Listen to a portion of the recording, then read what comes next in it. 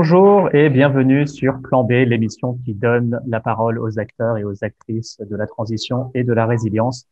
Aujourd'hui, je reçois Jean-Emmanuel Gilbert, directeur développement de la société Aquasset. Bonjour Jean-Emmanuel. Bonjour Cyrus. Merci beaucoup d'avoir accepté notre invitation. Tu es venu ici nous parler du deuxième sujet le plus important du monde. Euh, le sujet le plus important du monde, euh, c'est l'air qu'on respire. Voilà, euh, en quelques minutes sans air, on meurt. Euh, on a de la chance, euh, a priori, on devrait avoir de l'air euh, sur Terre pendant encore un moment, plus ou moins pollué, mais peut-être pas de là à se faire la guerre dessus. ce qui relativise un peu l'intérêt d'aller sur Mars, comme le suggère notre ami Elon Musk. D'ailleurs, j'en profite pour vous montrer un pull que ma maman m'a offert pour mes 38 ans en coton recyclé. voilà, because there is no planet B. Voilà, mais pas de panique, pas de panique, because, because there is plan B. Hein. voilà, because there is plan B.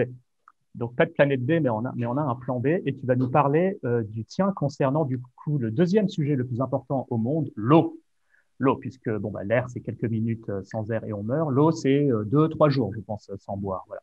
Euh, donc c'est très important. De, tu vas nous parler de l'activité de ta société, puis on abordera les grands enjeux de l'eau en France et dans le monde voilà les tensions qui existent euh, sur l'eau, euh, pas seulement en termes de changement climatique, même si on va en parler, mais aussi de dégradation de la ressource, euh, de surexploitation par rapport à ce que la ressource nous offre, et puis aussi des enjeux économiques de l'eau qui font que de toute façon, quoi qu'on fasse, on ne peut plus continuer avec le modèle existant, ne serait-ce que par contrainte économique, qui est un sujet que tu connais très bien. et puis, on abordera aussi des cas très concrets de transition hydrique des territoires en France et ce qu'elles peuvent faire pour s'adapter à un monde de plus en plus euh, contraint euh, sur l'eau. Bah, sans plus tarder, Jean-Emmanuel, je te laisse euh, te présenter ainsi que l'activité d'Aquacé. Eh ben, bonjour, donc moi je suis Jean-Emmanuel Gilbert. Au départ, je suis docteur en chimie, spécialisé sur les problématiques environnementales, sur les parties pollution et puis valorisation matière en fait des déchets. Et puis pendant toute ma carrière professionnelle, en fait, j'ai été de l'eau, notamment la qualité de l'eau, avec euh, les questions qui ont émergé de type perturbateurs etc., Et donc la toxicité en fait euh, des, euh, et l'impact des activités humaines sur l'environnement. et il y a 7-8 ans, en fait, j'ai rencontré Stéphane Gilbert. Alors pour le coup, c'est un homonyme, on est ni frère ni cousin, qui lui vient, qui est ingénieur en gestion de l'eau et qui lui venait du monde de l'industrie et qui était confronté aussi, mais d'une toute, toute, autre manière, euh, à la question de l'eau. Euh, et en fait, avec ces deux angles de vue qui sont euh, très complémentaires, on a abouti assez rapidement, donc maintenant, il y a oui, 8-9 ans, à la conclusion qu'il allait y avoir, qu'on allait vers une transition hydrique de la même manière qu'il y avait eu une transition énergétique. on reviendra tout à l'heure sur, sur les moteurs. Et donc, du coup, est émergé, a émergé en fait dans, notre tête l'idée de, de, combiner un petit peu nos, nos, deux manières de faire pour voir comment répondre en fait à ce nouveau besoin qui allait être, qui allait être cette transition hydrique. Et c'est ce qui a amené à la, premièrement à des collaborations entre nos deux, nos deux activités, et puis euh, à la création d'Aquacé qui, qui, a été fondée en fait en 2015 et qui grosso modo maintenant est une société de services avec euh, deux types d'activités. Première activité, on fait des études de terrain pour aller faire euh, des diagnostics et préconiser des solutions de réduction des consommations, réduction des rejets, euh, et amélioration de l'efficience en fait des usages et des traitements de l'eau. Et de l'autre côté, pour pouvoir faire ce métier qui est principalement basé en fait sur une analyse extrêmement détaillée des flux et des usages de l'eau, il a fallu qu'on développe notre propre outil d'analyse de données, en fait, plus, plus, précisément de collecte, centralisation et exploitation de flux de données en masse et en temps réel, de manière à avoir une vraie cartographie dynamique en fait de ces flux et usages de l'eau. Et il s'avère que certains de nos clients il y a euh, environ six ans, nous ont dit, ben, en fait, on, serait, on est intéressé aussi par votre outil. Est-ce que vous pourriez nous le mettre à disposition, pas simplement pendant la durée d'une étude, mais euh, pendant toute l'année, de manière à ce qu'on puisse continuer à faire de l'amélioration continue euh, et continuer à identifier des leviers d'action pour réduire notre empreinte hydrique. Et donc, du coup, ça, c'est devenu la deuxième activité, qui est de, l'abonnement, en grosso modo, à, à un SaaS euh, donc, euh, où euh, on va créer, donc c'est un SaaS qui est 100% cloud, 100% web, Et on va donc collecter d'une manière ou d'une autre les différentes données liées aux usages de l'eau. Et là, c'est une des difficultés parce que les données liées à l'eau sont assez dispersées et très hétérogènes, dispersées dans différents systèmes d'information. Euh, et puis hétérogène parce qu'on va avoir des, données qui sortent de capteurs en temps réel, avec des données qui arrivent euh, trois semaines plus tard parce que c'est une analyse en laboratoire sur des produits pharmaceutiques, euh, des observations terrain. Vous voyez, c'est un petit peu, c'est assez compliqué. Donc on arrive quand même à collecter tout ça, le centraliser de manière intelligente sur des bases de données dites en série temporelle, et derrière on fait des calculs métiers qui sont principalement du génie des procédés. Et donc ça, c'est quelque chose euh, où nos clients euh, s'abonnent en fait à ce système-là. La plupart du temps, ils utilisent les deux systèmes, enfin les deux services. C'est-à-dire, d'un côté, ils font appel à notre intelligence métier euh, en tant qu'intervenant, et puis de l'autre côté, ils combinent ça avec aussi l'analyse de données. Voilà.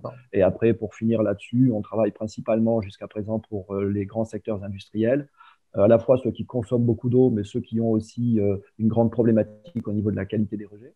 Et puis, le troisième euh, type de clients, c'est ceux dont l'eau impacte directement le, produit. Euh, par exemple, l'agroalimentaire, puisque l'eau peut rentrer même dans le produit fini, ou alors lorsque l'eau euh, impacte directement le process, la qualité du, produit fini, par exemple le traitement de surface, ce genre de choses. Et là, maintenant, depuis, donc là, on travaille ben, pour beaucoup de, pas mal de groupes, industriels. Mmh. et puis, le deuxième segment de marché sur le voilà, le deuxième segment de marché sur lequel on a commencé à se positionner euh, en, R&D innovation avec euh, certains services, notamment le SIAP euh, depuis maintenant 3-4 ans. et là, on est depuis en fait quelques mois, on commence à travailler en direct avec des collectivités de manière à appliquer cette stratégie de cartographie, identification des leviers, non plus simplement sur un périmètre limité qui est une usine, mais sur un périmètre qui est beaucoup plus euh, complexe, qui va être euh, une communauté de communes, voire un bassin. Oui, très bien.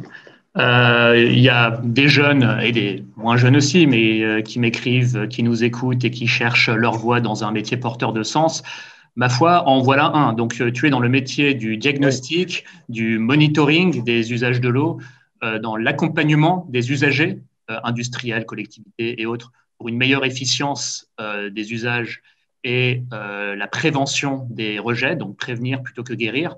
Euh, donc, ma foi, c'est l'avenir. Et de toute façon, on va en reparler. Mais on n'a plus le choix puisque le, modèle actuel prédominant, qui est essentiellement basé sur rémunérer le prélèvement et rémunérer la dépollution, à un moment, il va dans le mur.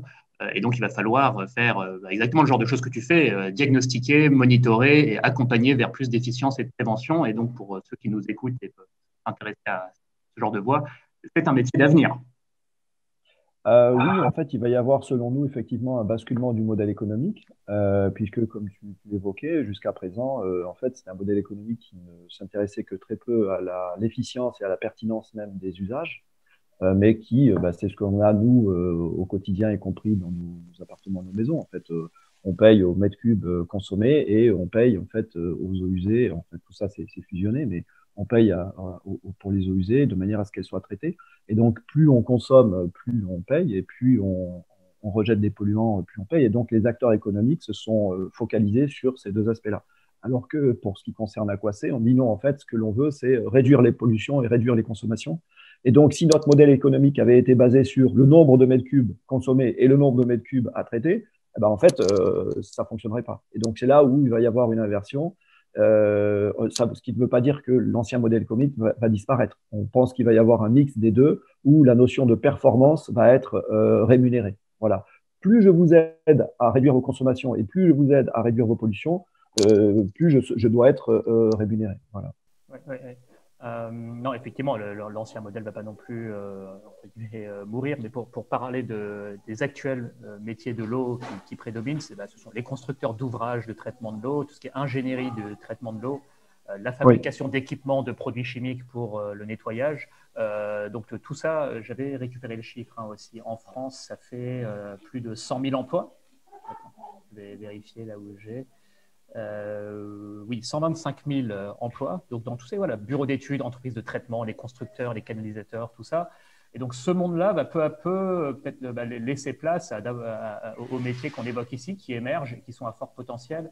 Et tu vas nous en parler, mais qui, comment dire, commencent à prendre, en particulier dans le secteur de l'industrie, avec le oui. du travail, qui ne peut plus faire comme, comme avant.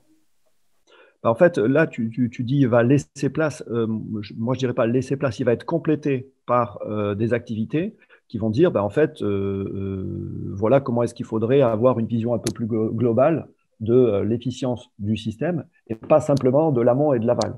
Donc l'amont et l'aval, par exemple, le fait qu'il y ait des tuyaux, des usines d'eau potable, des stations de traitement en ville ou dans les usines, ça, ça ne changera pas. On, en aura besoin parce qu'on ne va pas euh, réduire à 0% euh, ni les consommations ni, euh, ni les rejets.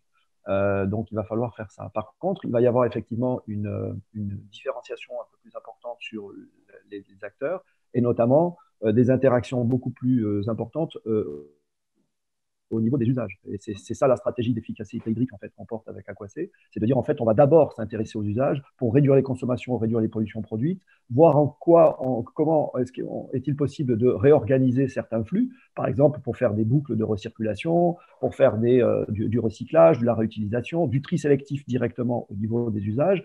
Et donc là, de nouveau, on réduit encore euh, le besoin en amont et en aval. Et tout ce qu'on n'a pas pu éviter, oui, il va falloir le produire en amont et oui, il va falloir le traiter en aval. Mais on est, on est vraiment avec une inversion en fait de, dans la hiérarchie des, euh, du, plan d'action. On fait les usages, la réorganisation et ensuite seulement les traitements. Alors qu'aujourd'hui, on est plutôt en train de dire bon, bah, si vous avez besoin de X mètres cubes euh, par heure euh, de telle eau, telle qualité, bah, voilà, je vous mets une installation pour la produire. on parle, ça a l'air de rien, mais vraiment d'une révolution. Euh, j'aime bien l'image effectivement des tuyaux. Aujourd'hui, on s'intéresse essentiellement aux tuyaux qui rentrent, donc euh, prélevés et payés pour ce prélèvement. On s'intéresse euh, aux tuyaux qui sortent, donc les rejets et à les nettoyer. Mais tout ce qui se passe entre les deux, globalement, c'est, enfin, ça peut être géré de manière bien plus efficiente et de manière beaucoup plus propre. et intelligente, en, accompagnant les usagers, en trouvant des solutions intelligentes pour éviter les rejets. Il y, a, y, a tout un monde à, à inventer euh, au niveau de tous les usagers, hein, donc euh, agriculteurs, industriels, les ménages, les collectivités, la restauration collective. Enfin, c'est euh, tout peut être réorganisé et ça, ça va demander bah, à la fois du, travail intelligent et, des forces vives de notre pays. Pour faire un parallèle encore, pour faire un petit parallèle, c'est pour bien faire comprendre, en fait, comme l'eau n'était pas une question jusqu'à il n'y a pas très longtemps, parce que on a été dans un monde qu'on croyait euh, comme on dit avec Stéphane, en fait, euh, l'eau était semblée euh, gratuite, inaltérable et inépuisable, ce qui n'est pas le cas pour aucun des trois points. et ben en fait, on, ne s'en est pas préoccupé. Et donc, du coup, de la même manière que pour l'énergie, on avait fabriqué des passoires thermiques parce qu'on pensait que l'énergie, c'était pas un problème, etc., etc. ben on, a, on a fait en gros des, des passoires aussi hydriques. C'est-à-dire que les procédés, les manières de faire, et c'est valable pour la ville, l'agriculture, l'industrie, n'a pas suffisamment pris en compte le fait que l'eau en fait était euh, non pas gratuite mais très coûteuse. Et ça on pourra y revenir. En fait le prix de l'eau aujourd'hui est très très sous-évalué. Euh, elle n'est pas euh, inaltérable. Bah, on le voit avec toute la problématique de la dégradation des, des, de qualité de l'eau. On le voit aussi avec elle n'est pas inépuisable. Ben, voilà maintenant on se retrouve avec un impact du changement climatique directement sur le cycle de l'eau. Donc on se retrouve avec non seulement une tendance qui est pas bonne du tout mais surtout la gestion des aléas et c'est ça qui est en train de, donner des gros coups de boutoir dans le système. Parce que le fait qu'en 2050 ou en 2100, euh, on soit dans telle ou telle situation, c'est une chose. Mais en fait, dans la réalité, dans le domaine de l'eau, on est déjà impacté. Les dernières années, on a déjà eu en France, grosso modo, des épisodes de sécheresse qui étaient extrêmement importants et qui ont impacté déjà euh, l'alimentation en eau potable, euh, l'industrie, l'agriculture, bien sûr, mais même le refroidissement des centrales, puisque certaines tranches en fait, de centrales nucléaires ont dû être euh, arrêté, euh, justement euh, à cause de la problématique de l'eau. Pas simplement d'ailleurs parce qu'il n'y a pas d'eau, mais parce que l'eau va être de moins bonne qualité. Par exemple, pour le refroidissement, la température est déjà trop élevée. Et donc derrière, bah, à la fois refroidir avec de l'eau chaude, c'est pas pratique, mais ça veut dire qu'on rajouterait encore de la, des thermies, en fait, on augmenterait encore la température du milieu naturel. Et donc ça veut dire que là, on flingue tout. Quoi. Donc on voit qu'on est, on rentre dans un, dans un, dans un, dans un monde qui va être sous contrainte. Mmh, mmh. Et jusqu'à présent, ce n'était pas perçu parce qu'on n'avait pas encore atteint la limite. Là, non seulement on a atteint la limite de par la surexploitation, contamination des ressources, etc., etc., mais en plus, cette limite est en train de subir des variations qui sont euh, importantes. Et c'est ça que le système aujourd'hui déjà ne sait plus gérer. On, va aborder une à une ces différentes contraintes qui font que, on va dire, l'ancien système euh, doit évoluer. Euh, donc il y a le changement climatique, euh, alors effectivement, tu parlais d'épisodes de sécheresse et euh, on voit déjà des zones de tension en France. Enfin, par exemple noter la, la, Corrèze qui, il y a deux ou trois étés, a dû mobiliser des centaines de camions pour approvisionner certaines de ces communes. Oui, la Creuse aussi, mais même l'île, hein, le, nord de la France, en fait, est, est aussi très, très impacté. Hein. C'est ça qui est fou. j'ai un peu grandi en me disant ça va être le sud-est principalement qui va être concerné. Euh, c'est parce qu'on voit ça comme une zone plus chaude, plus aride, ou la, Corse. Mais non, non, ça concerne euh, tous les départements. Ça concerne le nord, ça concerne euh, l'est. Ah bah, le Doubs était à sec. Euh, je crois que c'était l'an dernier ou il y a deux ans. le Rhin, par exemple. voilà, on peut prendre un exemple extrêmement concret pour montrer ce que c'est que le stress hydrique. Le stress hydrique, ça ne veut pas dire qu'il n'y a pas d'eau. Le stress hydrique, ça veut dire que la quantité d'eau et d'une certaine qualité est inférieur, disponible en fait euh, au quotidien est inférieur à ce, que, ce dont on aurait besoin pour les usages. Donc on peut être dans un pays où il y a beaucoup d'eau, entre guillemets, mais si on en veut deux fois plus, on est en stress hydrique. Ça veut dire qu'il y a 50% des usages qui ne seront pas alimentés. Donc on peut prendre quelques exemples euh, basiques euh, pour bien montrer la diversité en fait, des situations. Il y a des usines qui ont été obligées de s'arrêter il y a, je crois, deux ans, je crois que c'était pour la grande sécheresse de 2019, au niveau du Rhin, parce que tout simplement le transport fluvial ne pouvait plus se faire. Et donc les usines qui étaient en bord de Rhin, en fait, n'arrivaient plus à être alimentées en matière première et à sortir leurs leur, produits finis. Donc ça, c'est un des aspects en fait euh, de, de l'eau, parce que euh, ce qu'il faut avoir en tête, c'est que l'eau, en fait, elle est utilisée partout. Toutes les activités humaines utilisent de, près ou de loin euh, sont liées à l'eau. alors bien sûr, après, donc je, cite un exemple sur le transport fluvial, mais euh, on l'a bien sûr avec euh, les sécheresses qui impactent les, modèles agricoles. Euh, on va l'avoir au niveau de l'alimentation en eau potable pour, pour la ville. La, question n'étant pas simplement d'ailleurs de la quantité d'eau disponible, mais la qualité de cette eau, parce qu'on ne peut pas utiliser n'importe quelle eau pour fabriquer de l'eau potable. Et donc, lorsque l'on est en plus en, sécheresse, on va avoir une concentration des polluants, on va avoir une température de l'eau qui est beaucoup plus élevée, et donc derrière, ça veut dire qu'elle n'est pas forcément disponible pour fabriquer de l'eau potable. Mmh. de la même manière, va être, euh, on, va avoir euh, des, restrictions et des, euh, assez importantes pour le, milieu industriel. Mmh. Donc la question de l'eau, en fait, n'est pas simplement il n'y a pas d'eau. La question est plutôt de dire je suis en stress hydrique parce qu'il y a moins d'eau et de moins bonne qualité par rapport à ce, de, ce dont j'aurais besoin. Et là, bah, a priori, toutes les régions sont impactées.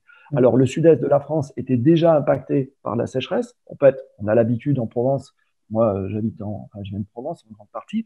Donc, en Provence, on était déjà habitué à être en milieu sec. Et donc, les activités bah, se sont adaptées. Et là, la problématique, c'est que on était dans un monde où on pensait qu'on allait avoir telle quantité d'eau et qualité. Donc, forcément, on s'est mis à ce niveau-là. Et puis là, ce qui se passe, c'est que ah, pendant un moment de l'année, bah, là, on, ça chute. Et puis, bien sûr, pendant les périodes euh, de pluie, on se retrouve avec euh, des inondations c'est-à-dire qu'on a une perturbation du cycle de l'eau. C'est ce qui fait que les deux, régions qui sont les plus impactées aujourd'hui en France, ça va être tout le bassin Adour-Garonne, et puis, euh, grosso modo, euh, la partie euh, Normandie jusqu'à la partie nord. Voilà.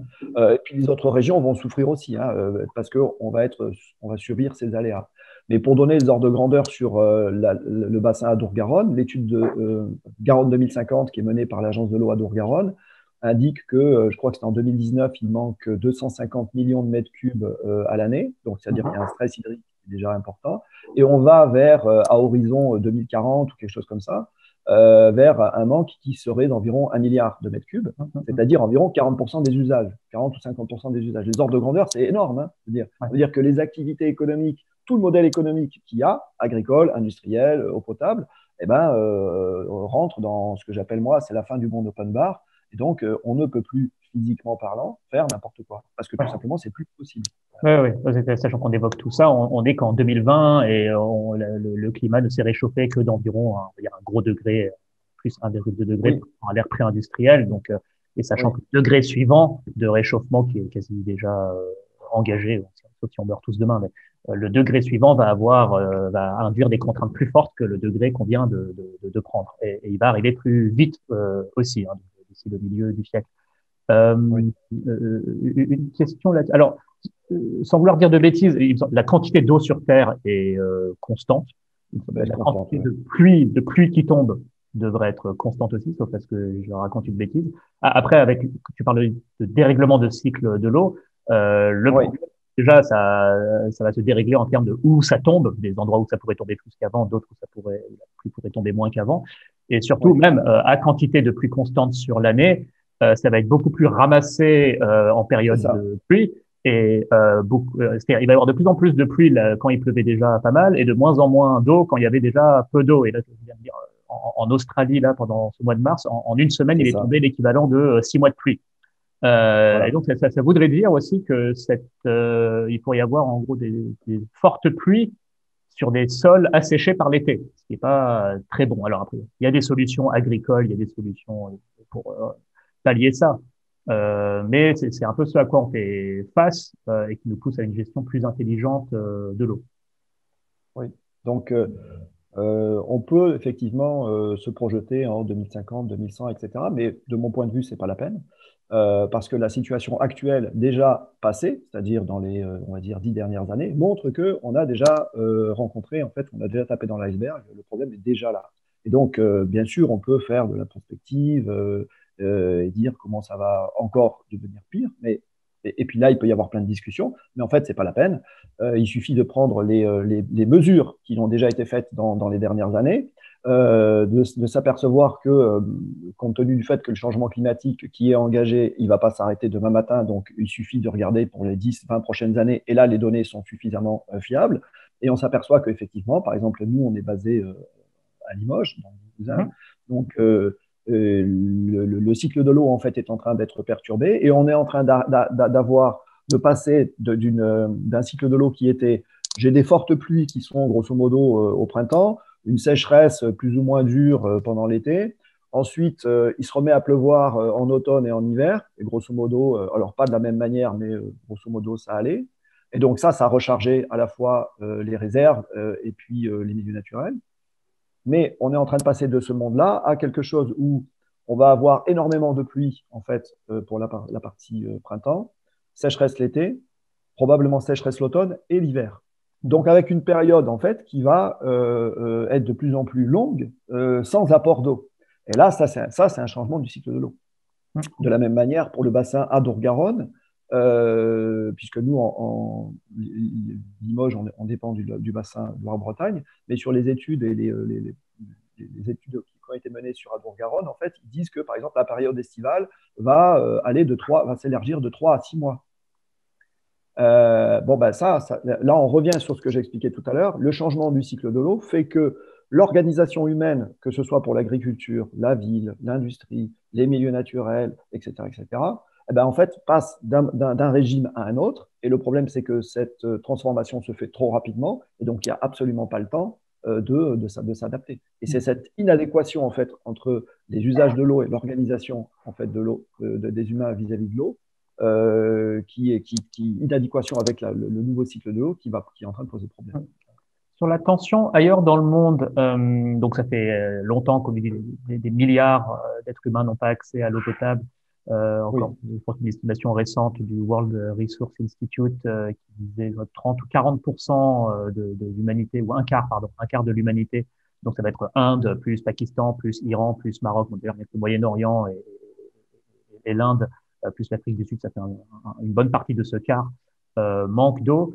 Ça fait un moment qu'on le raconte, euh, mais voilà, il n'y a pas un seul été, on est quand même 8 milliards sur Terre, il n'y a pas eu un seul été où on a vu bah, des centaines de milliers ou des millions de personnes qui euh, meurent de soif d'un coup, pour dire on s'en sort toujours.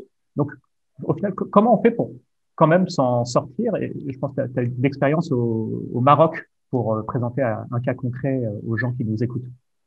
Oui, alors, euh, donc déjà, avant de parler du cas euh, du Maroc, pour bien comprendre qu'effectivement, euh, ça, fait, bah, ça fait déjà pas mal de siècles probablement qu'il y a des, zones qui sont en tension hydrique avec des grandes sécheresses, des pénuries d'eau, etc. Mais ce que j'expliquais, c'était que les activités humaines, en fait, se sont adaptées à ça. Voilà. Et là, ce qui est en train d'être nouveau, c'est que le cycle de l'eau est en train de varier rapidement, et donc c'est cette inadéquation qui pose problème et qui va poser de plus en plus problème. Hein.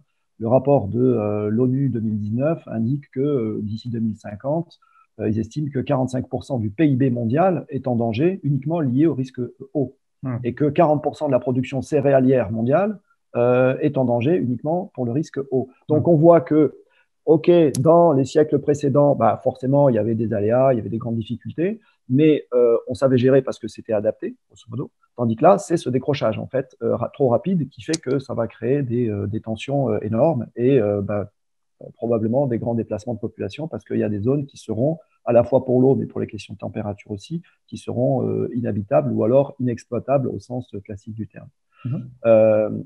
alors, pour prendre un petit exemple, donc j'étais effectivement fin 2019 au Maroc dans une, mission française sur les problématiques environnementales, et ce qui nous a permis de rentrer en contact avec euh, le ministère en fait de l'environnement, de l'eau, avec euh, différentes organisations. Et il y a eu euh, une présentation qui a été faite par le responsable de la stratégie eau en fait du gouvernement et qui a indiqué que voilà, en, résumé, le, Maroc s'était équipé avec des grands barrages qui sont dans l'arrière-pays. Qui permettent de stocker de l'eau et ensuite d'irriguer ensuite les, les, activités humaines. mais qu'aujourd'hui, avec ce changement de cycle de l'eau, bah, la problématique est qu'il euh, ne va plus forcément euh, pleuvoir au bon endroit au bon moment. Et donc, euh, ce système-là va éventuellement devenir inadapté. Et donc, la, question, c'était, c'est lui qui présente ça comme ça, il dit maintenant, on commence à réfléchir à comment faire des, connexions interrégions. Mais alors, ça veut dire, je ne sais pas si on, imagine ce que ça signifie, de, connecter des, régions entre elles. C'est des travaux qui vont être gigantesques. Euh, et puis, euh, là encore, c'est des coûts, c'est-à-dire le modèle économique. Euh, on est au, fur et à mesure qu'on a cette inadéquation, on est en train d'essayer de combler le gap qui est en train de se créer en rajoutant de la technologie, de l'investissement, de la consommation d'énergie, de la consommation de matériaux, etc. etc. donc là, par exemple, il y avait l'exemple du Maroc, mais on a beaucoup de pays du pourtour méditerranéen ou Moyen-Orient, mais Australie aussi, où ils rajoutent des usines de dessalement d'eau de mer. Bon, alors de qui on dit, bah ouais, si vous n'avez plus du tout d'eau, il va bien falloir en, produire. Euh, par contre, euh, c'est pas infini, puis ça, ça coûte énormément, euh, ça, coûte très, très cher, ça consomme beaucoup d'énergie.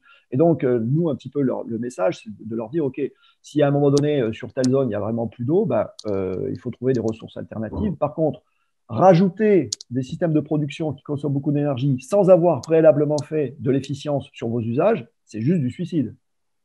Parce que le jour où l'énergie va commencer à euh, coûter un peu plus cher, bah, là, tout votre modèle économique il part, en, il part en vrille. Et donc, il faut d'abord réduire au maximum vos consommations, vos rejets, c'est-à-dire réduire la taille du problème et sa complexité. Et tout ce que vous n'avez pas pu éviter, essayez de le combler. Hum, hum, hum. Mais sinon, c'est, sinon c'est, une, c'est, une, un puissant fond. Quoi, hein, euh, voilà. Euh, ce nexus eau-énergie est très intéressant.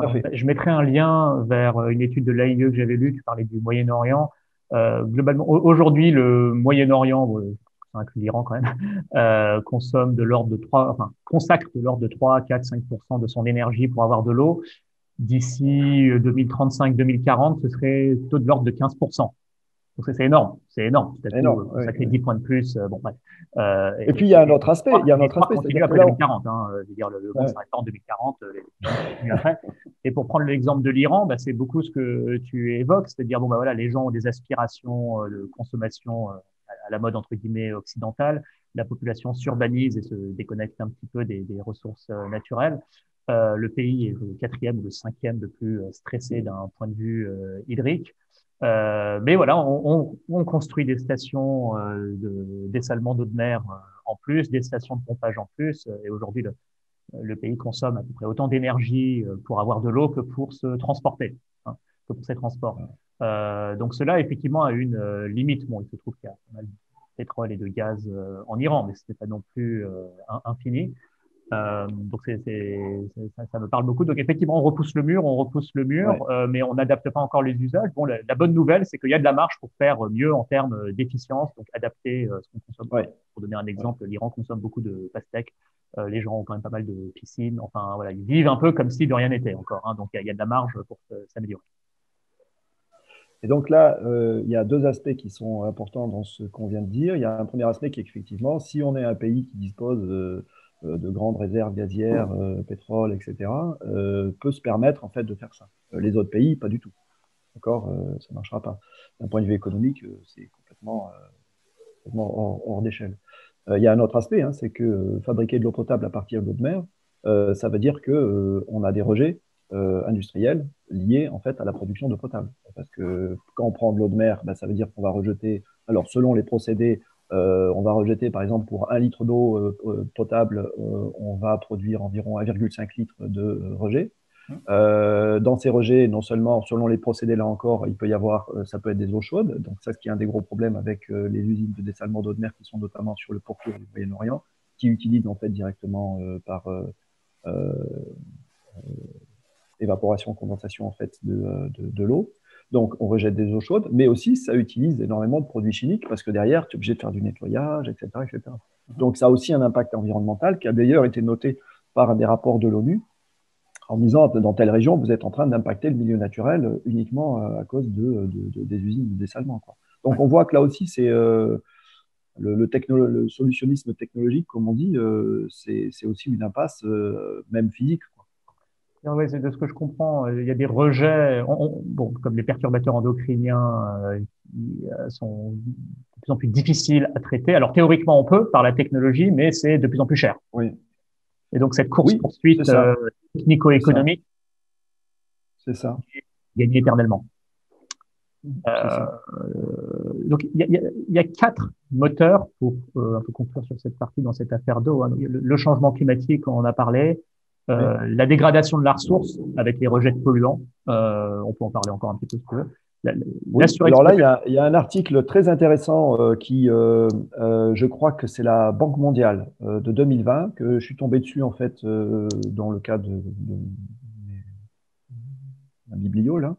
Euh, un, article qui montre que l'impact lié à la qualité de l'eau sera probablement plus important que euh, l'impact quantitatif. Ah oui? Et que justement là, ouais, et donc justement là, il y a un très grave problème qui jusqu'à présent euh, est un petit peu méconnu et ils appellent ça d'ailleurs, je sais plus comment, l'impact invisible ou quelque chose comme ça.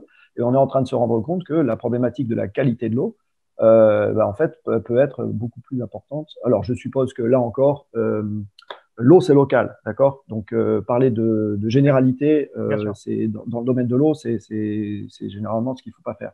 Mais euh, donc, dans certaines zones, on peut avoir des endroits qui vont être extrêmement impactés par la problématique de la quantitative, c'est-à-dire en fait ce cycle de l'eau. Est-ce qu'il y a du jet de l'eau en quantité suffisamment disponible au quotidien?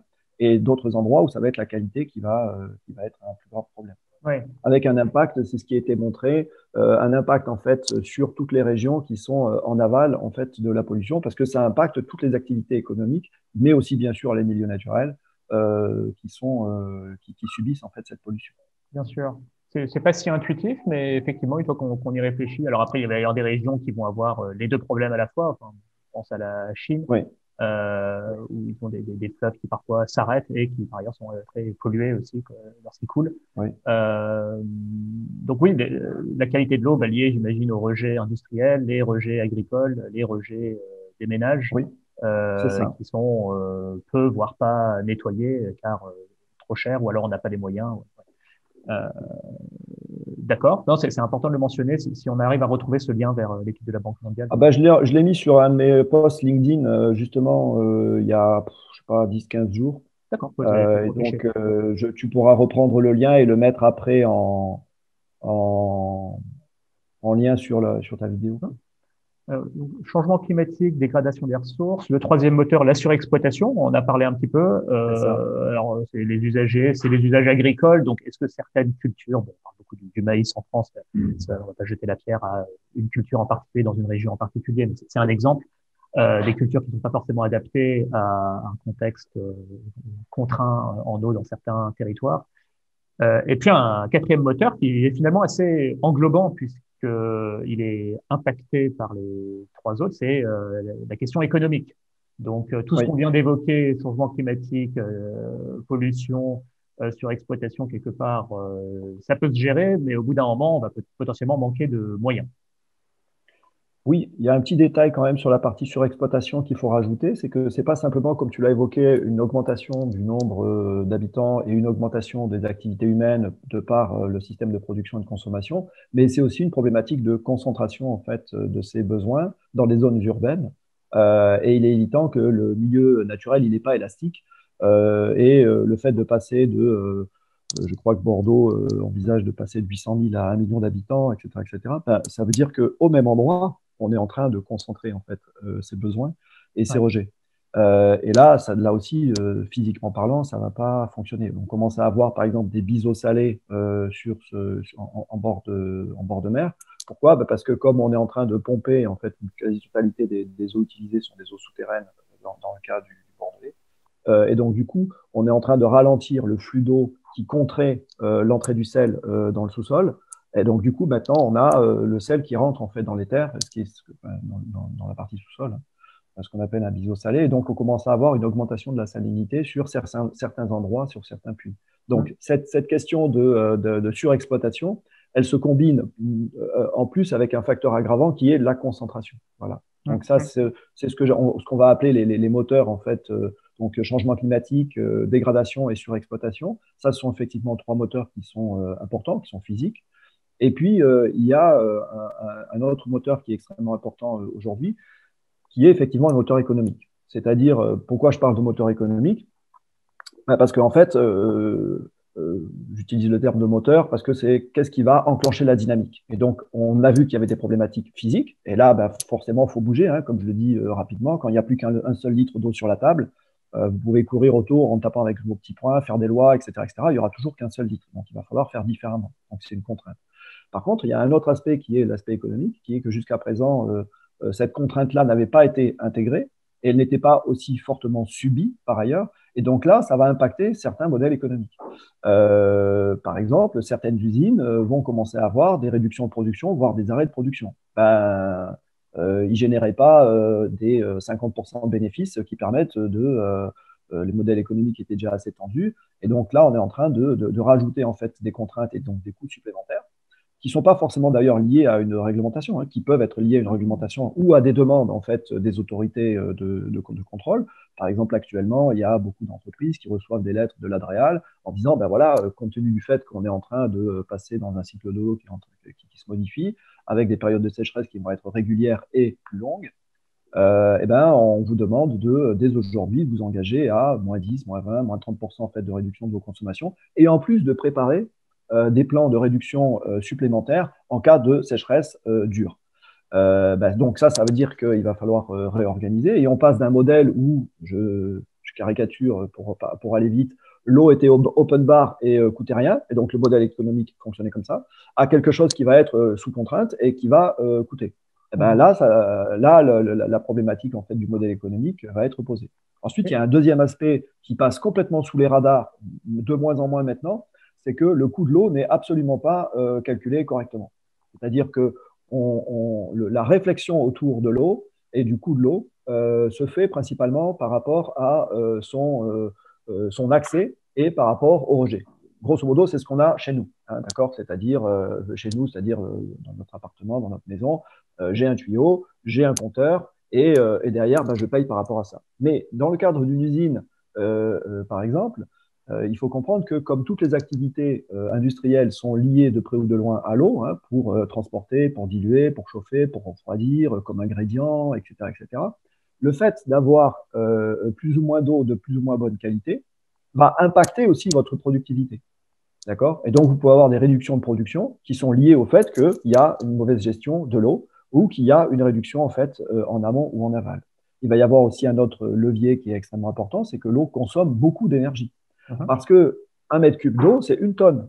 Et donc, lorsqu'on a des industriels euh, ou n'importe quel type d'activité qui, euh, qui euh, exploitent, en fait, on va dire, X milliers de tonnes donc, par, par jour, bah, ça veut dire que vous avez des pompes partout qui poussent tout ça. Ça veut dire que lorsque ça arrive dans la station d'épuration, vous avez des aérateurs qui font buller tout ça, etc., etc. Et ça, ça consomme beaucoup d'énergie, en fait.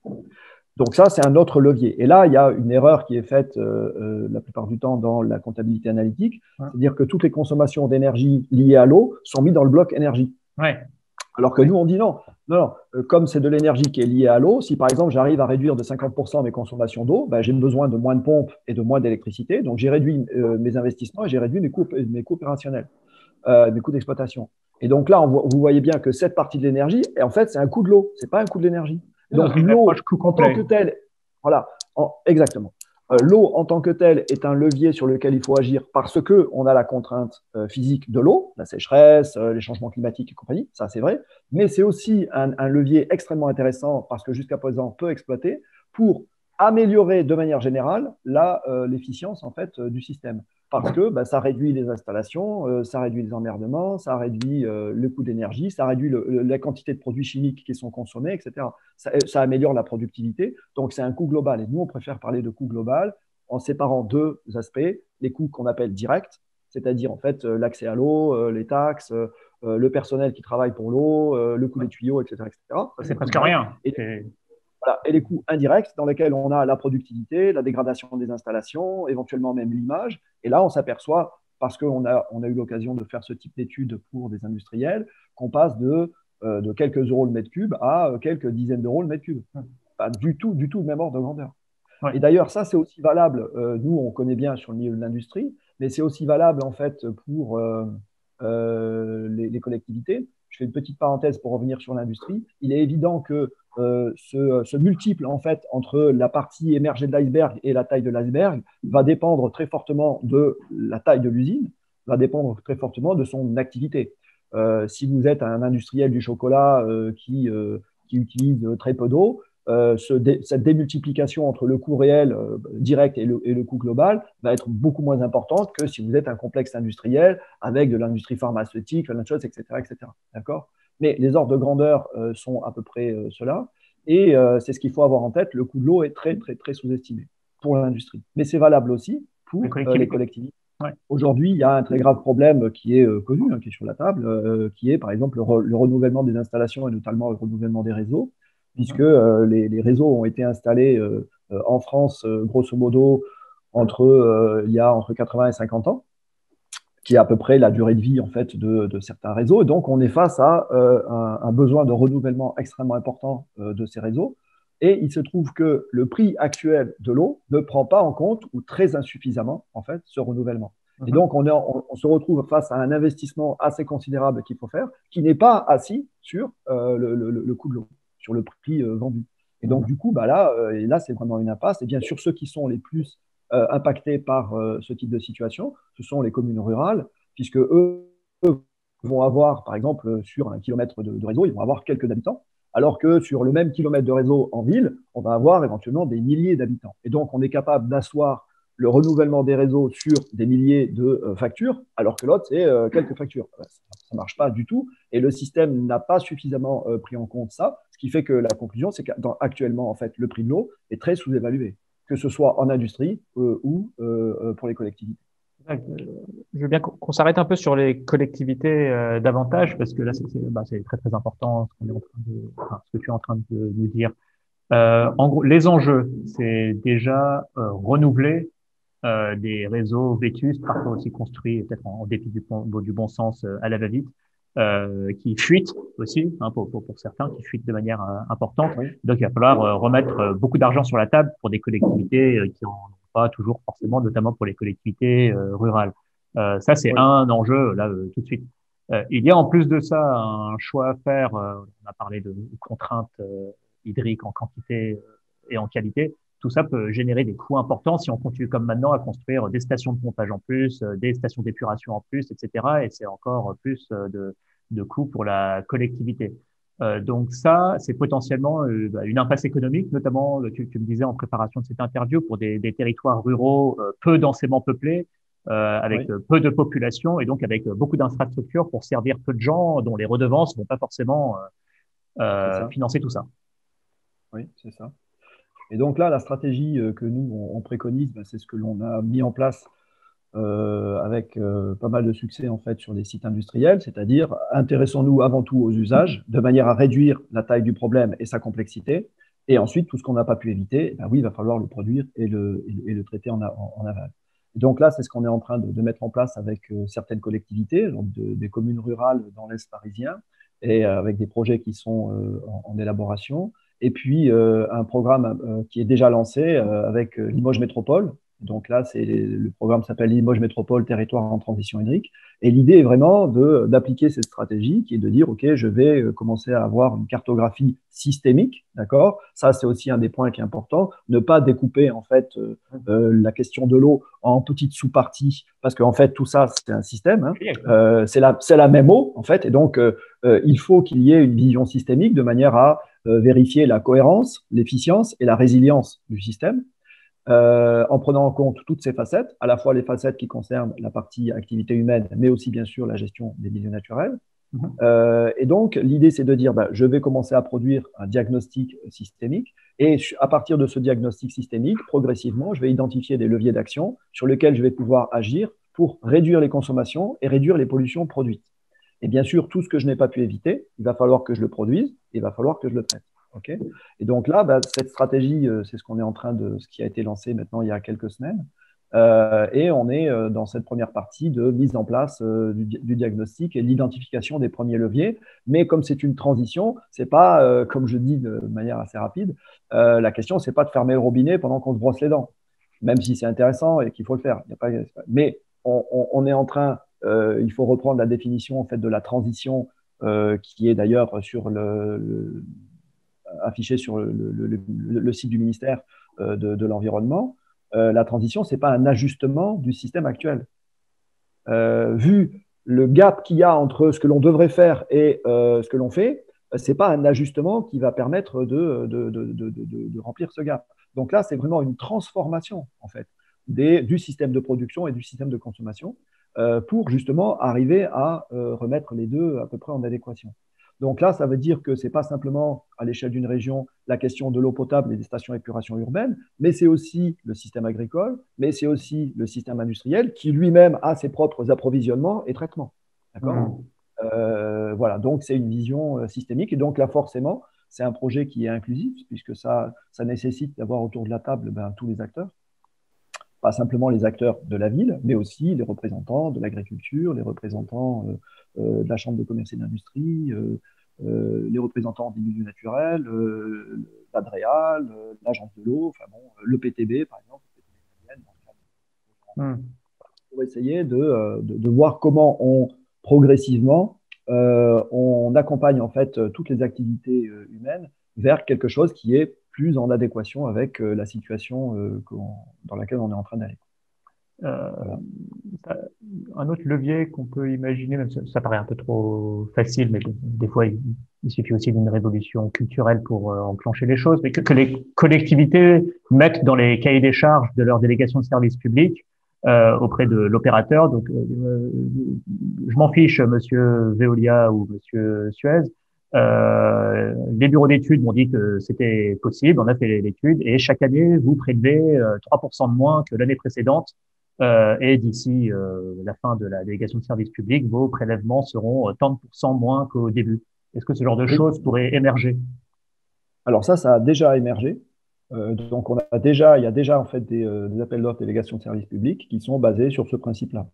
Voilà, avec cet objectif-là. Euh, et, effectivement, euh, ça pose un problème d'un point de vue du modèle économique, puisque euh, au départ, le délégataire, en fait, lui, sa rémunération, elle est basée sur le, nombre de mètres cubes.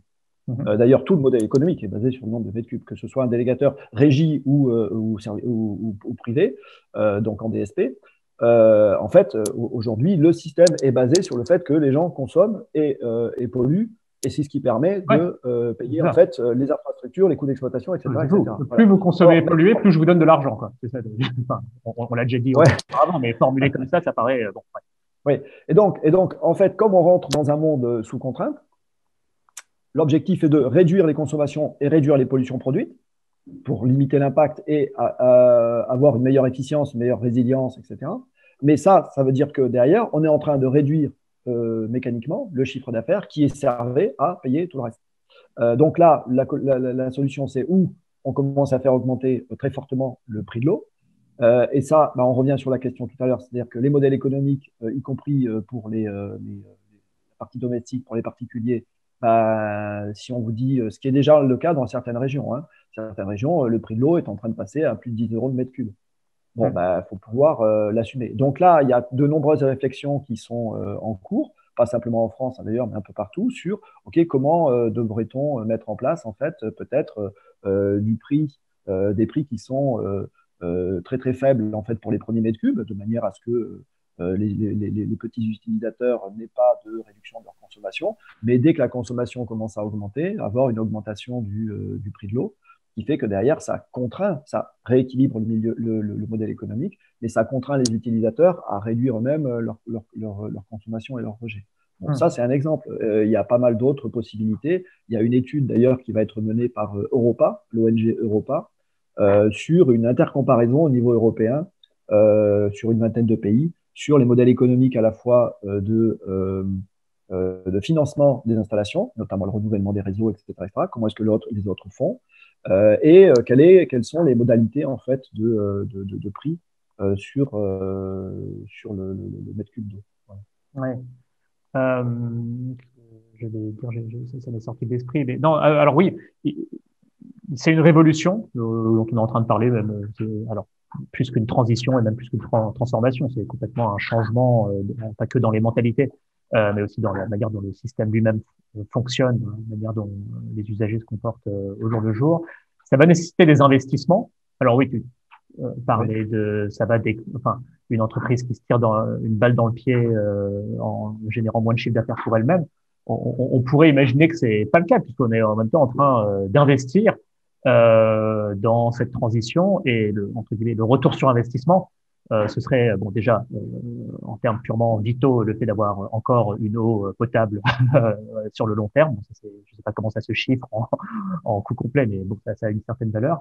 Euh, en termes purement financiers, ça se, bah, cet investissement serait financé par les économies qu'on fait justement sur les moindres coûts. De, de, construction de nouveaux équipements, d'entretien des d'infrastructures de plus en plus gourmandes, etc. Oui. Alors, euh, petite euh, parenthèse sur euh, un des aspects que tu as abordé, qui, qui est notamment le, la partie coût de l'eau. comment est-ce qu'on chiffre le fait de, de ne pas avoir d'eau, etc., etc., Bon, alors maintenant, il y a des. J'ai entendu d'un industriel où la réflexion qui est menée, c'est de dire OK, si vous voulez commencer à savoir ce que vous coûte l'eau mmh. réellement, eh ben, prenez votre modèle économique et je vous enlève 10, je vous enlève 10% d'eau. Qu'est-ce que ça a comme impact? Bah, si ça réduit, alors je vais donner un cas concret qui est chez un, de nos clients, il a fait ce type d'exercice. Euh, on lui demande de, euh, les contraintes réglementaires lui demandent en fait de réduire ses consommations de 25% d'eau. Il a calculé que en l'état actuel, s'il ne met pas en place de modification de son process, euh, ça réduit de 50% sa capacité de production.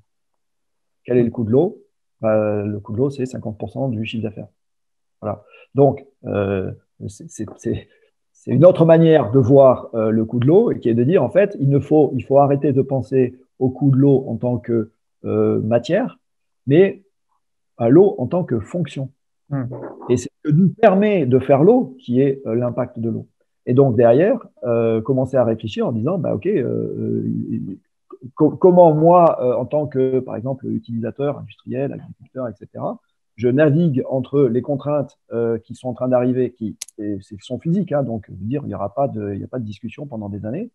Euh, euh, ces contraintes qui vont impacter mon modèle économique, mais derrière, comment est-ce que je dois modifier ce modèle économique pour pouvoir toujours produire, puisque la question, ça va être, comme je le dis d'ailleurs de manière assez rapide avec les, agriculteurs avec qui j'ai l'occasion de discuter, je leur dis, moi, j'ai pas prévu d'arrêter de manger dans les années à venir, donc il va falloir que vous continuez à produire. Euh, par contre, euh, produire euh, dans un modèle qui ne prend pas en compte ou insuffisamment la partie eau, quantité comme qualité, d'accord bah, En fait, ça va être une impasse pour vous aussi. Mmh. parce que de toute manière, votre modèle économique va, va pas tenir. Vous allez, vous allez y perdre. et donc, la question, c'est comment est-ce qu'on fait pivoter? Alors, c'est ce que tu as évoqué tout à l'heure. Il peut y avoir des, des, des, cultures qui sont moins gourmandes en eau, des cultures qui sont moins sensibles à la sécheresse. il peut y avoir pas mal de choses. raccourcir aussi, bien sûr, tout le aller vers les circuits courts, etc., etc., pour retrouver. On, revient toujours au même, truc. J'avais un modèle qui était euh, plus ou moins en adéquation avec une situation. Cette situation est en train de partir. Bah, il va falloir que je me réadapte. Et croire qu'on va euh, euh, combler ce gap en mettant de la technologie, de l'énergie, c'est juste une impasse. Ça ne marchera pas. On, parle à nouveau d'investir dans ces métiers de demain. Alors certes, certaines entreprises vont peut-être perdre du chiffre d'affaires, mais certaines vont en gagner bah, dans les euh, du diagnostic, du monitoring, de l'accompagnement vers meilleur des, usages. Euh, donc de toute façon, il va falloir euh, investir. Bon, on est dans une période où c'est l'argent magique des banques centrales qui tombe du ciel par centaines de milliards. C'est un peu tourner la tête. Euh, et ça ne pas que tourner la tête, ça remet en cause aussi beaucoup de dogmes économiques qu'on nous a servi pendant tout ce temps et que j'ai moi-même pas mal gobé.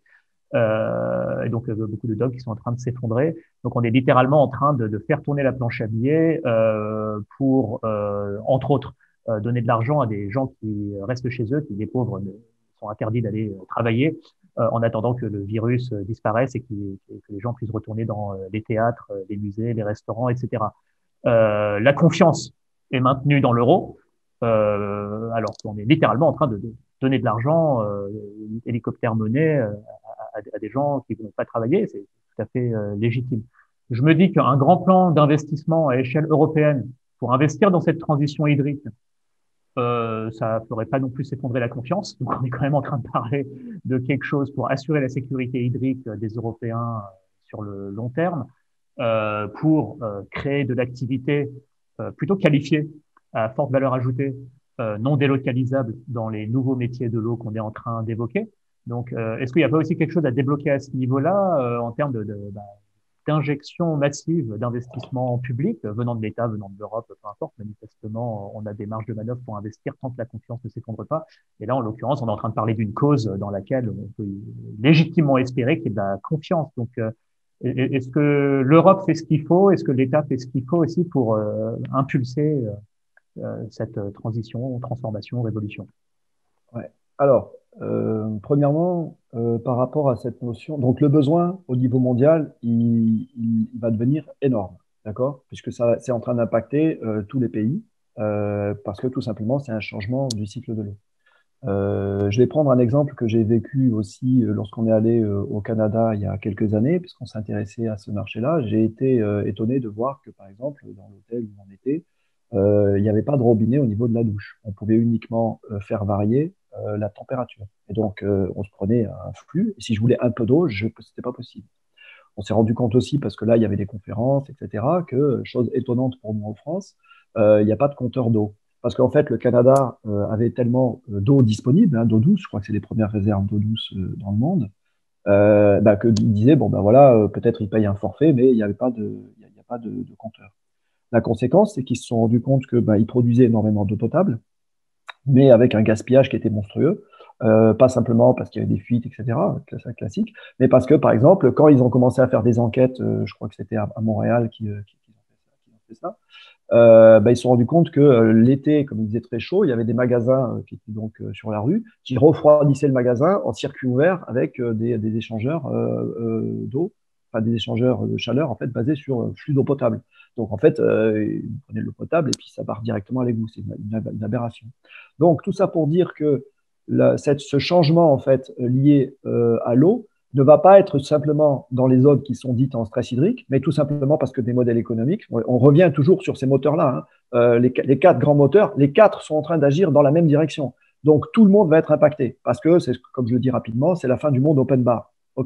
Donc ça veut dire qu'il y a un besoin qui est gigantesque ça veut dire qu'il va y avoir un marché qui va être gigantesque. D'accord? Et ce marché va être différent et complémentaire du marché de la gestion de l'eau, qui était plutôt un marché du traitement de l'eau. D'accord? Et que oui, ça va, ça va générer des besoins en gestion d'information, des besoins en études, mais aussi des besoins en procédés qui ne vont plus être forcément des grands procédés centralisés, Hein comme par exemple les usines d'eau potable, les stations d'épuration, mais au contraire, plein de petits procédés divers et variés qui vont être mis au plus près des usages. Hein et donc ça, ça va démultiplier les technologies, les savoir-faire, euh, les solutions. Et, et, donc là, il y a tout un monde qui est, euh, qui est à ouvrir. Ah et c'est ce que nous, on préconise au niveau français, puisque la France est quand même un des pays qui est euh, très en avance et très reconnu sur le marché de l'eau de par les grands acteurs en fait euh, qui, euh, qui y sont présents, mais aussi de par l'école de l'eau en fait euh, française. Et Limoges, par exemple, est, plutôt bien placé sur sur ce sur ce podium-là, puisque par exemple au niveau local, on a aussi l'Office international de l'eau, on a des écoles d'ingénieurs, on a des clusters dans lesquels on a beaucoup d'acteurs de l'eau, etc. Et ce que je préconise en fait, à la fois au niveau de Limoges Métropole, de la région Nouvelle-Aquitaine, mais au niveau national, c'est de voir en quelle mesure il est possible de développer une filière transition hydrique qui irait compléter en fait la filière eau traditionnelle, puisque l'objectif euh, c'est pas de la, de la, dégager, c'est pas ça. C'est à un moment donné on va aborder le problème d'une manière différente. Euh, et là il y a des activités qui sont extrêmement euh, importantes avec euh, un marché mondial qui est en train de s'ouvrir, mmh. avec des acteurs qui peuvent arriver en plus maintenant. On a eu, on a été en contact avec par exemple le CNES, le CNES qui dispose justement d'une capacité de production d'informations de par ces satellites et qui permet justement de commencer à faire une analyse du système eau à l'échelle de région, ce que par exemple des acteurs comme Aquacé ou d'autres, euh, on est incapable de faire parce que nous, entre guillemets, on va avoir des capteurs et donc c'est à un endroit donné, on va faire des prélèvements à un endroit donné, mais dire, OK, sur telle région, voilà ce qui est en train de se passer sur un, carré de 20 km sur 20 km ou de 200 sur 200, ben, c'est pas le même type d'outil. Or, il va falloir, parce qu'on est en train de travailler sur le cycle de l'eau à l'échelle de bassin, Il va falloir combiner aussi des données satellites avec éventuellement des données ben, sur les données météo, les données aéroportées, des données au sol, des données, des données euh, euh, souterraines.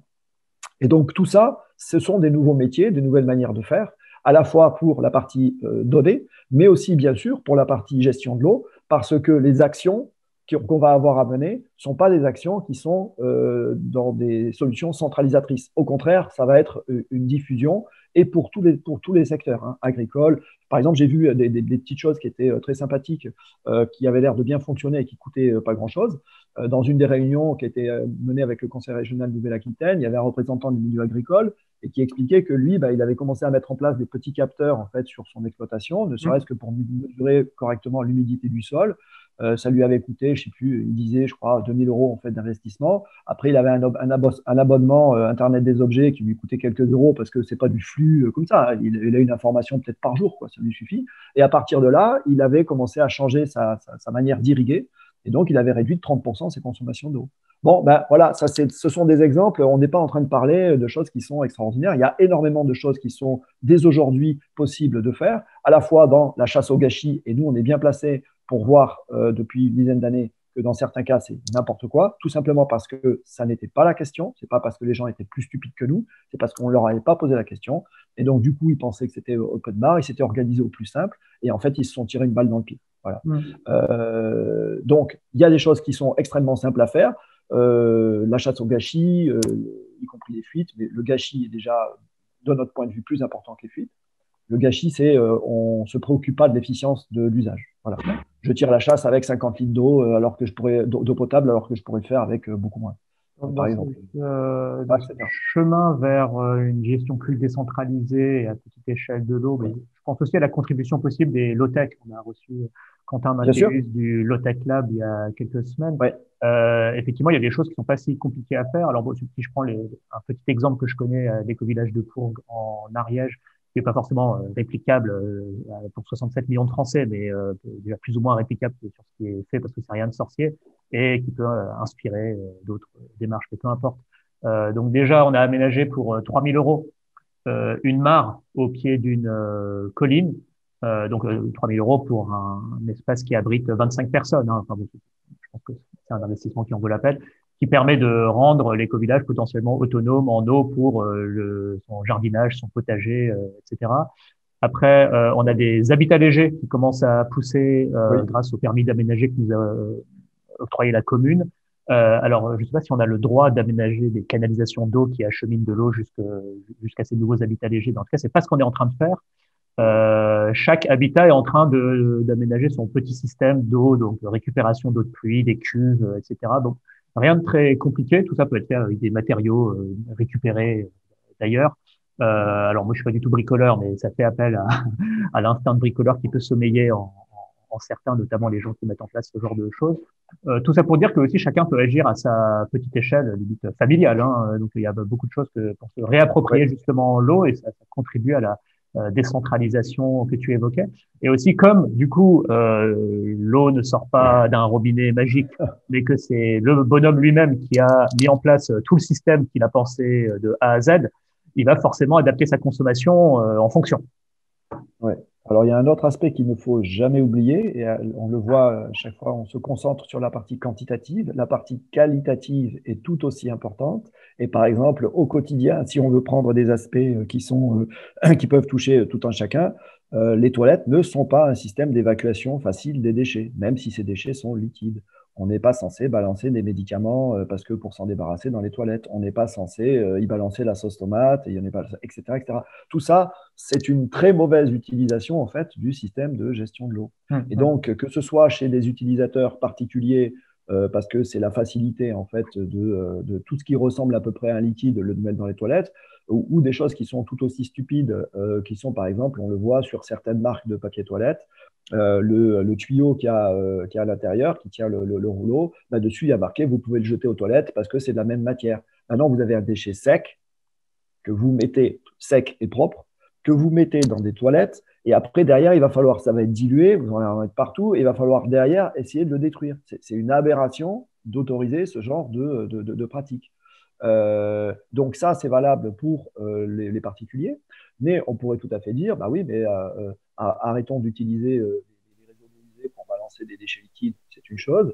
Mais on pourrait tout à fait dire, bah, regardons quelles sont les substances aussi qu'on utilise nous au quotidien et qui, par nature, se retrouvent dans les effluents. Mhm. J'avais vu les chiffres pour la région parisienne sur euh, certains composés, comme je crois que c'était les phtalates, c'était il y a une dizaine d'années, donc j'ai plus trop les chiffres en tête, mais euh, les, substances qui étaient par exemple dans les shampoings, dans les savons, euh, quand on voit le nombre de personnes qui le matin se douchent, ça fait un pic de pollution qui est gigantesque et qui est concentré à un endroit, traité au maximum, mais quand même le rejet se fait à un, endroit. Donc là aussi, il faut voir, pour, résumer la partie gâchis, euh, la partie usage euh, aberrant. Euh, la réduction aussi de par la, du choix des substances que l'on utilise de manière à ce qu'elles soient plus facilement gérables ou qu'elles aient un impact moindre. Et tout ça, ce que je viens de dire, que l'on perçoit correctement, facilement pour un particulier, c'est exactement la même chose pour un industriel. Par exemple, on a des industriels qui se sont fait, entre guillemets, choper par la patrouille parce qu'ils se sont retrouvés avec certaines substances en sortie euh, donc, c'était dans le cadre de la RSDE, euh, recherche des substances dangereuses dans l'eau. Et donc, il y avait toute une liste en fait, de substances qu'ils étaient euh, chargés de, suivre. Et ils se retrouvent avec des substances qui étaient dans la liste et on leur dit, bah, ça, il va falloir l'éliminer. Et donc, l'industriel ne comprenait pas trop en disant, bah, ouais, mais moi, c'est pas moi qui l'utilise ça. Moi, j'ai pas ça dans mes, dans mes trucs. Donc, d'où ça sort? Et s'est rendu compte que ça faisait partie, grosso modo, des, des compositions de certains produits détergents industriels qu'il utilisait pour nettoyer ses réseaux, etc., etc., faire son travail. Et donc, il est, remonté vers le fournisseur en disant euh, telle substance qui me pose problème à la sortie du tuyau ne fait pas partie de, euh, la liste euh, qui m'intéresse. Donc, faites-moi le même produit, mais sans cette substance-là, qui est par exemple, qui était par exemple en fait des, produits qui n'ont pas impactent la, la, fonction du détergent, mais c'est sa capacité à être stocké pendant deux ans, etc., etc. Donc voilà, on peut remonter aussi en disant arrêtez de me mettre des polluants dans, hmm. euh, dans mon système, etc. Et donc on revient sur ce qu'on disait tout à l'heure. Il y a une très grande diversité en fait d'actions possibles, des actions qui sont simplement organisationnelles, des actions qui sont techniques, des actions qui sont hyper technologiques, parce que dans certains cas, bah, peut-être que ça serait intéressant de faire ça. Mais dans tous les cas, c'est un ensemble de solutions. Il n'y aura pas de boîte magique. Ouais, ouais. Ah bah, c'est passionnant, hein, Jean-Emmanuel. Euh, je contribue beaucoup aussi à ce que je pousse mes connaissances sur ce sujet de l'eau que j'avais peut-être un peu euh, négligé aussi pendant tout ce temps, euh, parce que pendant longtemps aussi, en m'intéressant à l'écologie, c'était essentiellement climat, climat, or, enfin, climat et énergie, or tout est lié. on, on, approche, je pense, de la fin aussi de cet échange, mais en tout cas, c'est un sujet très très riche. On pourrait encore en parler des heures, mais je dirais que pour conclure, quoi, à l'image euh, de l'énergie qui ne pèse euh, officiellement, si on compte le petit bout de la lorgnette, euh, que quelques pourcents de points de PIB, bah, l'eau, ça doit être encore moins que ça. or, en réalité, ça pèse 100% du PIB et 100% de nos vies et c'est lié à tout. Je trouve que c'est un bon fil conducteur aussi pour entrer dans les sujets écologiques en général, puisque rien qu'au cours de cet entretien, on a parlé bon, d'eau, c'est sûr, mais on a parlé de climat, on a parlé d'énergie, on a parlé d'industrie, on a un peu parlé euh, agroalimentaire, on aurait pu en parler euh, encore plus. Euh, on a parlé d'usage de toutes sortes, beaucoup de choses. et on n'a même pas parlé de biodiversité, hein, mais bon, j'imagine. on a que parlé de des naturel, mais c'est exactement, c'est ça exactement le, le, le, même problème, hein, c'est-à-dire le fait qu'il y ait un changement du cycle de l'eau avec augmentation de la température pendant l'été, en plus des milieux naturels, avec donc du coup augmentation de la concentration des polluants, puisque si on n'agit pas sur les émissions de polluants, eh ben, ils seront très peu dilués en fait dans le milieu naturel. Eh ben, derrière, ça a des impacts qui sont catastrophiques pour euh, la partie euh, biodiversité, mais de manière générale en fait sur les écosystèmes. Ah oui. voilà. Le, dérèglement euh, des cycles de l'eau aussi, une des causes du, dépérissement en cours des, de la forêt française. Là, j'ai eu, eu, des chiffres sur le bassin Vienne-Amont, donc en discutant avec le PTB de, de, de la Vienne, je crois que c'était en 2019, 40% des cours d'eau étaient en sec. Ah voilà, les milieux naturels. Hein. Ah oui, oui, ah c'est un impact. Ah oui, c'est gigantesque. Donc, euh, c'est notamment pour toutes les têtes de bassin, c'est toute la partie chevelue qui est complètement asséchée. Euh, et puis, bah, ce qui reste euh, en bas, bah, il y a un peu d'eau avec un peu d'eau et chaude. Donc, c'est pour les, milieux naturels, on est en train, on est en train là aussi de les de, de, les faire disparaître en fait à vitesse grand V. Quoi. Ouais. Voilà. Derrière le terme technique biodiversité, en fait, ça veut dire la vie, hein, la diversité de la vie, mais aussi la, la, la vie. Et il ne faut pas être grand clair pour voir un rapport entre l'eau et la vie, mais c'est ce qu'il faut se plonger, effectivement, le rapport entre les, les milieux naturels aquatiques et les grenouilles, les poissons, etc. Euh, on aurait pu en parler, euh, même si on n'est pas forcément les, les, plus experts, mais évidemment c'est lié. C'est pourquoi ça renforce d'autant plus l'idée que l'eau est un bon point d'entrée pour parler de beaucoup de sujets euh, écologiques, mais aussi sociaux. Euh, on aurait pu parler aussi davantage de santé, hein, donc euh, bien sûr l'eau et la santé. Ah, oui. on invite vraiment, oui, chacun à vraiment réfléchir suite à, suite à cette interview qui, je trouve, ouvre beaucoup de portes aussi pour s'investir davantage dans, dans, dans, ces enjeux euh, et offre finalement pas mal d'espoir, même si on a au début, euh, j'ai peint un, un, tableau un peu euh, pessimiste sur le changement climatique, etc. Mais on a évoqué euh, pas mal de, de leviers d'action. Euh, et à nouveau, pour, pour venir d'un pays, l'Iran, enfin, originaire d'un pays, l'Iran, qui, enfin, je pense que la France ne sera pas dans un état de stress hydrique semblable de sitôt. et pourtant, l'Iran s'en sort, et encore en gaspillant euh, beaucoup. Euh, donc l'Iran a encore de la marge. Voilà. Donc euh, voilà, on a envie de dire que la, France peut s'en sortir aussi, mais pour, pour ce faire, il va falloir évidemment se, bouger. Euh, bah, je sais pas, Jean-Emmanuel, est-ce que tu aurais d'autres mots de, conclusion? Euh, L'autre mot de conclusion, ben, je sais pas, cette idée que l'Iran s'en sort, je sais pas, je connais pas la situation en Iran. Par contre, il y a eu un petit, une petite vidéo qui été sortie sur une série qui s'appelle Zoom, euh, d'Arte et qui parle d'Arabie Saoudite. Euh, je crois que c'est d'Arabie Saoudite. Euh, et donc eux, bah, ils ont fait effectivement les, grands cercles de, culture et en pompant tout simplement de l'eau dans les nappes phréatiques très profondes. et je crois en 20 ans, ils ont cramé 90% en fait de, des réserves en eau. Donc cette idée que bah, jusqu'à présent on s'en est sorti et encore il y a de la marge, je pense que justement c'est plus le cas. C'est-à-dire que les réserves qu'il y avait ont été ou commencent à être franchement épuisés et donc ça, ça va s'arrêter. Et en plus, cette histoire de cycle de l'eau qui est perturbée va faire que euh, ce que, ce que l'on a cru inépuisable, inaltérable et gratuit ne l'est pas. Point à la ligne. Et donc, qu'il va y avoir inévitablement en fait un réajustement et euh, plus on s'y prendra tard, plus ce réajustement sera brutal et subi. Voilà. Oui, alors c'est, c'est pas une bonne formulation, il s'en sort parce qu'en fait, il repousse péniblement le mur. D'ailleurs, je vais partager voilà. d'un voilà.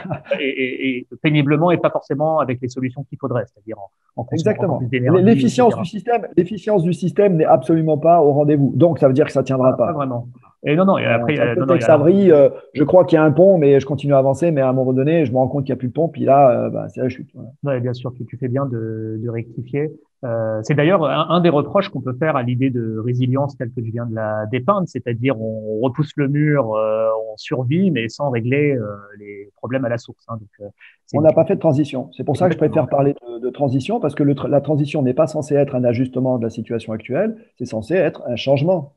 Ouais de, ouais, non, un changement dans l'organisation, un changement dans les systèmes de production et de consommation. Non, tout à fait. Non, tu, fais, tu, fais bien de me reprendre. Euh, je vais d'ailleurs partager un lien d'un documentaire Arte sur euh, l'Iran qui, qui, voit que, en fait, non, il y, y, a des populations qui en souffrent parce qu'on on détourne des cours d'eau euh, de zones rurales, on va dire pas économiquement prioritaires, euh, pour servir ouais. des zones urbaines plus riches. Et ça, il y a des populations ouais. qui se retrouvent presque du jour au lendemain sans les ressources en eau qu'elles avaient. Donc, non, non, l'Iran ne s'en sort pas. On va dire la, la guerre pour l'instant est évitée.